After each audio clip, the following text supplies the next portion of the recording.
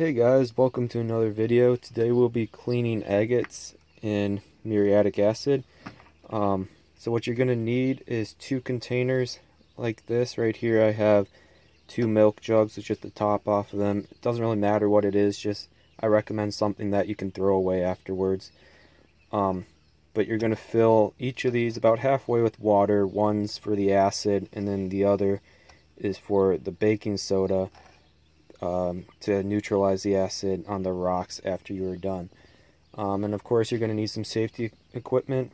Some rubber gloves would be good and obviously eye protection is very helpful. And just wear some old clothes that you don't really care about that much in case you do splash some acid. But um, we're going to go ahead and take a look at what we're dealing with here. So, Alright, so here's the rocks that we will be doing today. Um, they're all agates. We got a couple pretty good sized ones here. Um, this one just has a little bit of kind of that concrete stuff there and this one has a whole bunch all over the banded part so I'm really excited to get these ones cleaned up to see what they look like but we got a whole selection here um, so let's go ahead and get them cleaned up and see how it goes okay so let's go ahead and add some acid um, kind of just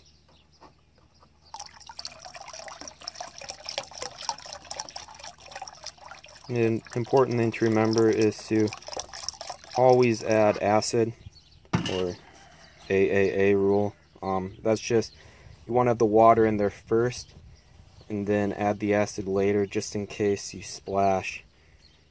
It's not acid splash splashing out it's the water. So we're gonna go ahead and put some in here see it's starting to fizz up on that bottom there where there was that concrete.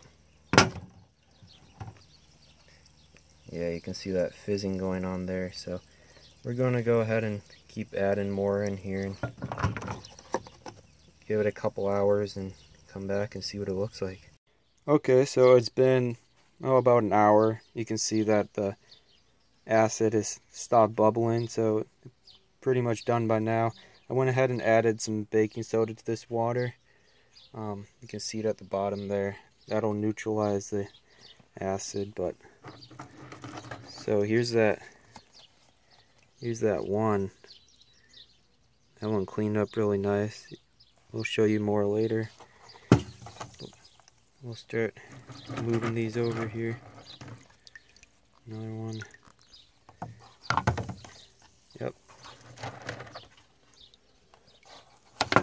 Okay, so I went ahead and took some of the best ones and uh, put them all together. So let's go ahead and take a look at some of them. So we'll start with this big one right here.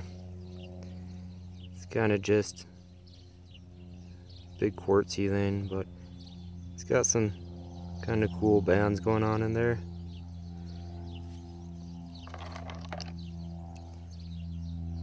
This one right here, this whole face was covered up.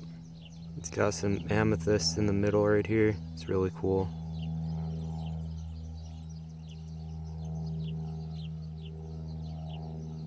Awesome.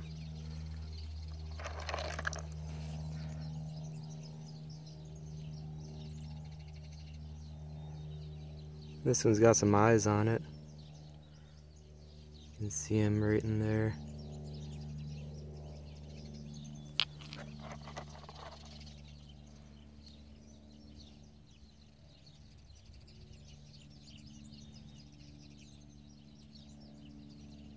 Pretty nice bands. This one's got some really nice ones.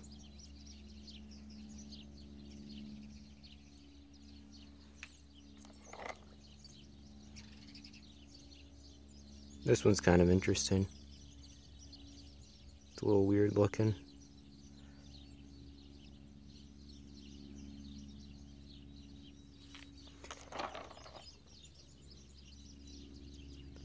This one's really, really nice. I opened up this back here that was kind of covered up. Weren't able to see those bands there before, so That's really cool.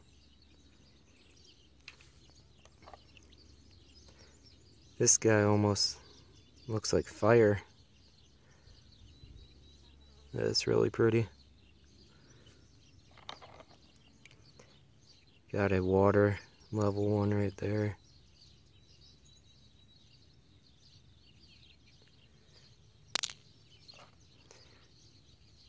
It's a little tiny guy. Really, really nice bands. This one's my favorite right here. I was most excited for this one. Right here, all this part there was covered up before, so we were able to open all of that up. Really, really nice agate. It's got a little bit of peeling there, but that's beautiful. This one also has really nice bands. Really, really pretty.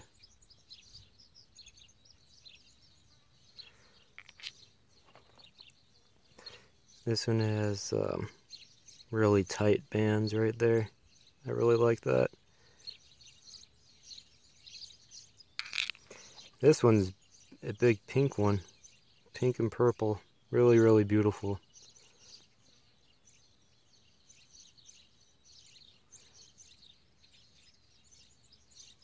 The camera doesn't like to focus sometimes.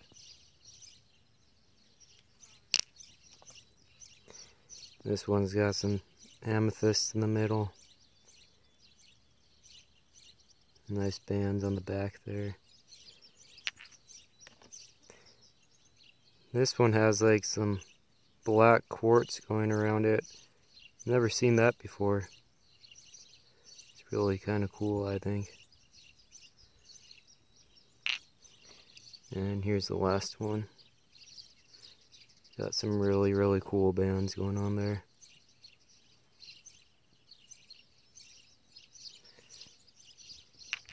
Well, there they are. Awesome.